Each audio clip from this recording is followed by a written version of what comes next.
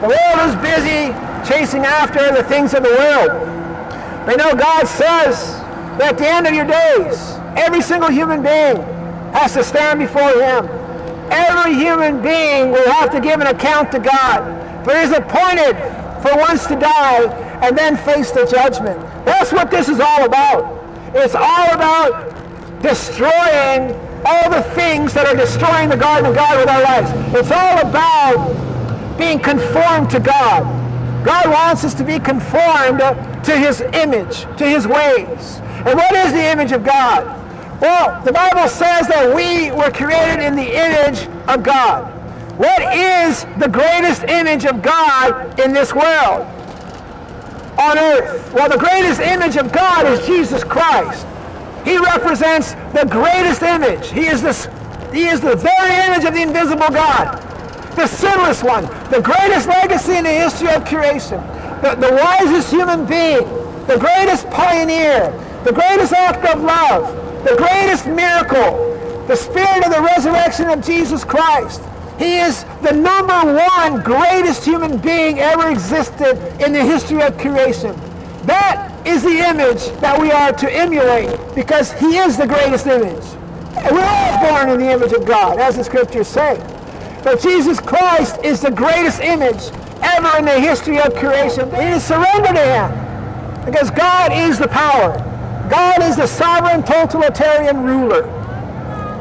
Yep. God bless you today. Remember, repent your sins. Seek God. Pour your souls out to the Creator. Take communion with the Creator. And don't do it today. We're in an emergency. It is an emergency. We break all the strongholds of Satan. We destroy the strongholds of deception. We destroy the grave. We destroy death. We say no to death. We say yes to life. We say no to the devil, Lucifer. We say yes to Jesus Christ. We say yes to the mountain of life. We say no to the mountain of death. We say no to the things that hurt people. We say yes to things that bless people. We are pro-life. We're not pro-death. And my friends, it's time to understand the difference, and it's time to take some evasive actions in our lives and to seek life the mountain of life and to practice that with the Creator God and to make that acknowledgement with God for our own personal lives. It has to start with us. And that's how we are able to be His light throughout the world. That's how the world sees changes. God says, I've been warning you, rising up early in the morning, sending you my people to tell you to turn from your ways, but you're not obeying my voice. He says, if you're not going to obey my voice, you're going to have to worship these gods. You're going to have to be led by false gods. God continuously warns people all the time. He warns people. It's not his fault for the disasters. It's not his fault for all the wars. He says to turn and turn and turn from your ways. For you have no pleasure or death of anybody. And you want to be blessed. You want to be blessed. You have holes in your pockets right now. You want to be blessed?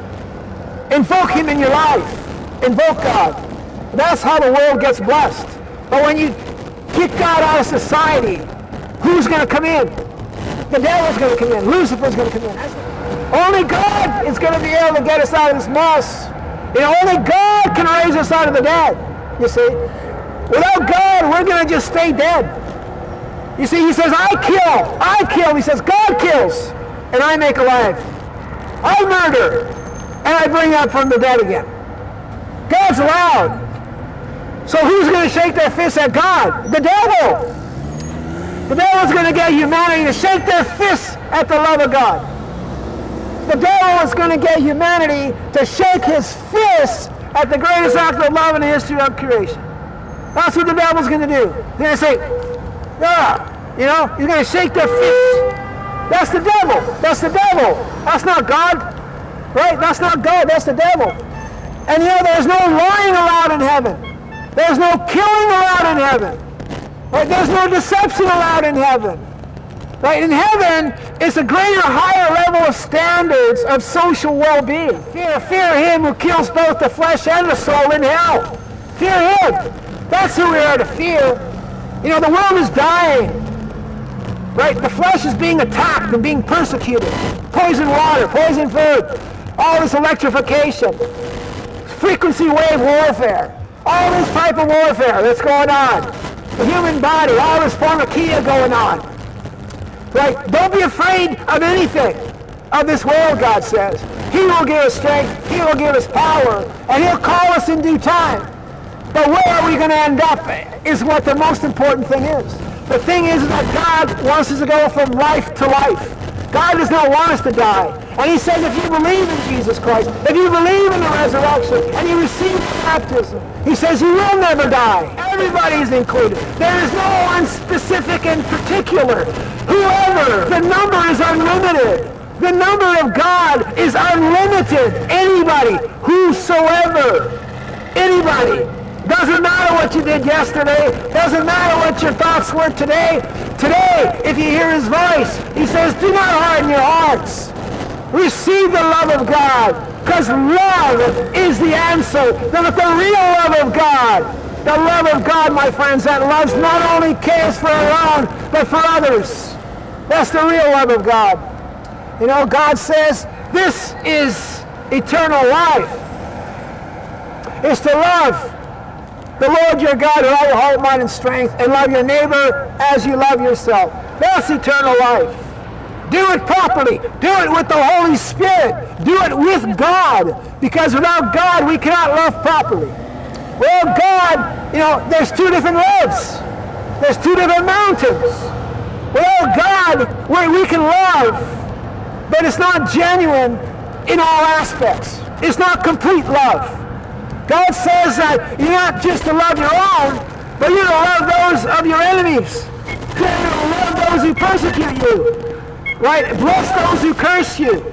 That's the real love of God. It's impossible for humanity to do it. The only way we can do it is with God helping us, and he knows that, and that's why God is involved. He has to be. He has to be involved. He knows that he has to be involved because we do not have transcendency in our own lives. We cannot raise ourselves from the dead. We cannot glorify ourselves. God knows that. And so we, he knows that we need him. He's there. We have to reach out to God with our free will. We have to surrender our lives, flesh, soul, and spirit, and pour ourselves out to Almighty God in the name of Jesus Christ. And he says, all who believe in me will never die. You'll go from life to life. That's what the resurrection is all about. That's what the cross of Christ is all about. That is the portal the eternal life, the heart of God. It's the heart of God. That's there. You step in there with both feet, and you go into heaven with God. That's the portal of everlasting life. That's the heart of God. It is the conscience of God. It is everlasting life. Pray God, and God is going to give you eternal life. He'll bless you. Not the works and the faith of delusion, but the works and the faith of the true living God dwelling within. And that's what God has for everybody who loves him, for everybody who reaches out with their hearts, their spirits, their conscience up to the throne of God, according to the patriotism of God, according to the kingdom of God. And God will bless you, and God will show you his kingdom, and God will wrap his arms around you and bring you into his bosom, and he'll manifest himself to you. God says to take communion with God. You yourself in solitude read your Proverbs every day. One proverb a day, 31 proverbs, vitamins for your spirit, and therapy for your soul. And there you'll be healed. And there he says, I'll manifest myself to them. It is an emergency. We break all the strongholds of Satan. We destroy the strongholds of deception. We destroy the grave. We destroy death. We say no to death. We say yes to life. We say no to the devil, Lucifer. We say yes to Jesus Christ. We say yes to the mountain of life. We say no to the mountain of death. We say no to the things that hurt people. We say yes to things that bless people. We are pro-life. We're not pro-death. And my friends, it's time to understand the difference, and it's time to take some evasive actions in our lives and to seek life the mountain of life and to practice that with the Creator God and to make that acknowledgement with God for our own personal lives. It has to start with us. And that's how we are able to be his light throughout the world. That's how the world sees changes. You got to hear this for yourselves and seek God in, in, in solitude with him. Just you and God. You and God. And that's it. Nobody else. With your heart to God. Taking communion with God. Reading the scriptures. Imploring God. Speaking to God. Having the door open so that you can walk in with God. And then you can hold his hand. He'll hold your hand. And he'll lead you to abundant living waters. He'll lead you to eternal life. Oh, that's what you need. God is more than we can ever imagine the goodness of God. Who can ever have the mind to completely understand the amazing, amazing attributes of Almighty God? You know, the Father has billions of different realms. Billions of different realms. How many people are there in this world? There's like over 7 billion people. If every person had a testimony, it would be different and unique. At the exact same time, God would manifest himself to them. Think of all the different realms that the Father has for those who love him. All those who are glorified. Think of the thereafter that God has for us. The Bible says that eyes have never seen, the mind has never thought or could imagine the things that God has waiting for those who love him. That's what's waiting for us. This life is chaff, my friends. This life is nothing compared to what God has waiting. This is the life where we destroy death. This is the life where we make our allegiance to God. This is the life where we step into the covenant with God. This is the life where we completely destroy the works of Lucifer, Satan, the devil. This is the life where the creation gets to glorify God in an amazing way. In a way where we're worshiping with Him in spirit and in truth without even seeing Him the power of God and doing all these wonderful works and preserving us for everlasting life. There's a purpose for humanity. And God is doing multiple tasks today. First of all, He's going to, just, He wants you blessed. That's the most important thing on the menu. God wants you to be blessed. That's the one. The most important thing is number one priority is to bless humanity. He wants to bless all of you, but you have to say yes. Yes to the blessings of God. Yes to the cross.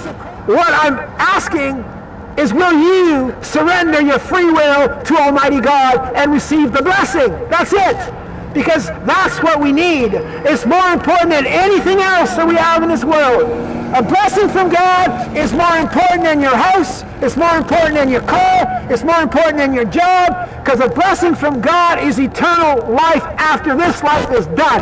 Not that he wants to take that away from you. Not that I would want him to take that away from you. But a blessing from God, my friends, that is just an example, is the most important thing in your life. You need to get blessed. You need to say yes to the love of the cross of Christ. The real true Christ. The one who rose from the dead. And he wants us all in the same place. We're all belonging in the same place. Jesus Christ blessed everybody. He blessed brown people, red people, yellow people, white people, black people. He blessed everybody, all nations. We're all children of God. There's one kingdom. There's one God. We all end up in the same place. What is all this division? What is it all this hatred? It's not to exist. God's going to wipe it out. God bless you. God bless you, little girl. wow. Wow, thank you, Father. Thank you, Father. Wow, I feel the Holy Spirit. Wow, this is eternal life. Eternal life, my friends. Hallelujah. Hallelujah. Hallelujah. Hey, people getting blessed. You know, people getting blessed. That's right. You got to remember God. Yeah, you're okay. You always say yes to God. Yes to God. You got saved. God blesses them. Hallelujah. That's good. That's life. That's life. That's living. That's real living, you know. And it's not, you know, God sent me here for your benefit. You know, but I get to share some of the first fruits here, you know. I get to share myself. I get to be able to rejoice too, you know, doing the work of Almighty God. He ordained me here. I say yes to God. I love God. I want God to be glorified. I want him to be filled with joy. It's one of the things I told him when I was born again the first time. When I came to life, I said, Lord God, you have so many things to be upset about. I want you to be, I want to be the one that brings you joy. I want to be the one that makes you really filled with joy. You know, and I said, I asked him, don't ever leave me again. Don't ever leave me again. you know, and, and this is the life. This is the purpose. And God has a purpose for every single person here, all in different capacities, all in different ways. God has a purpose for everybody. The Lord is cast under the lap. The decision is wholly from the Lord. Ask God what your purpose is, and he'll give you your purpose. Hallelujah. Hallelujah. Ask God your purpose, and he'll give you your purpose.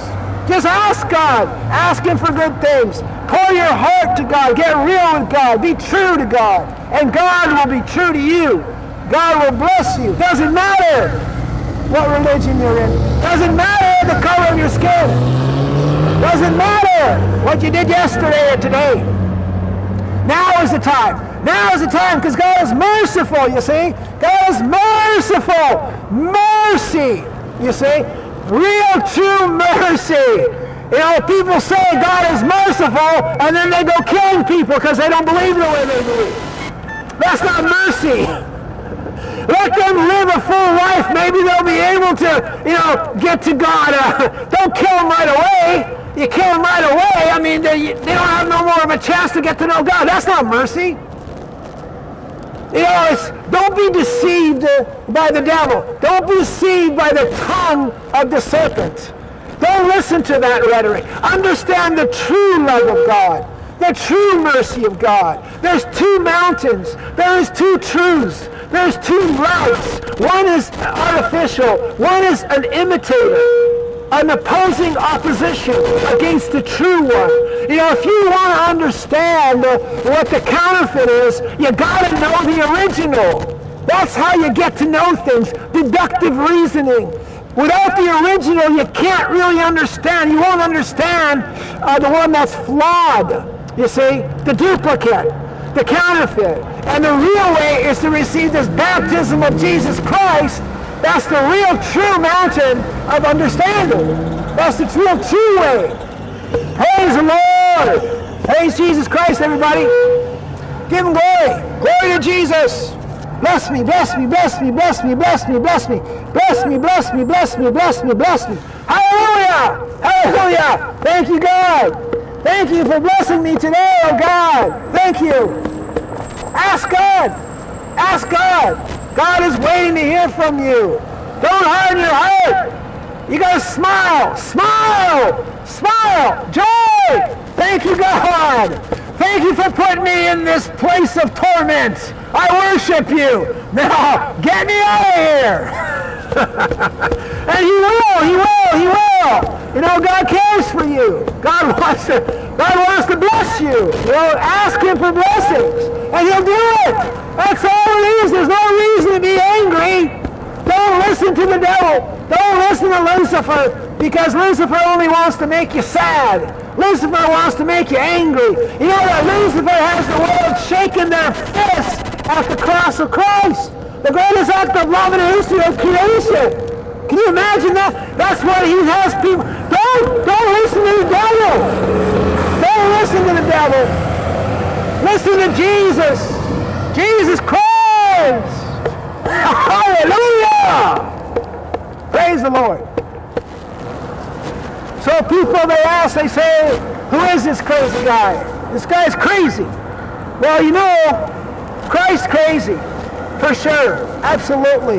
It's the joy of the Lord, my friends. The joy of the Lord, an example that you will see the joy of the Lord.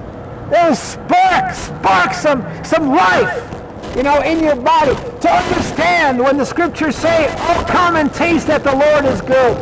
Cast all your cares upon him because he loves you. He cares for you. Give it all to God. Seek him diligently with all your heart, with all your mind, with all your strength. And God will bless you. He will make himself known to you. He will manifest himself to you.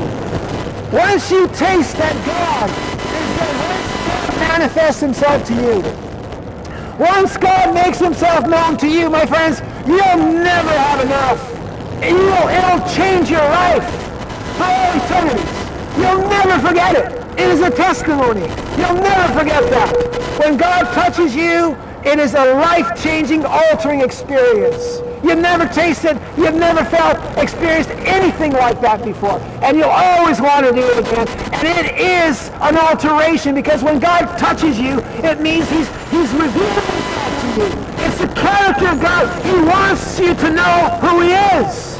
You see? And that's, that's the, the amazing transfer and the amazing touch of God when you actually get to, get to communicate and see him, you know, for who he is at whatever amount he decides he wants to reveal himself.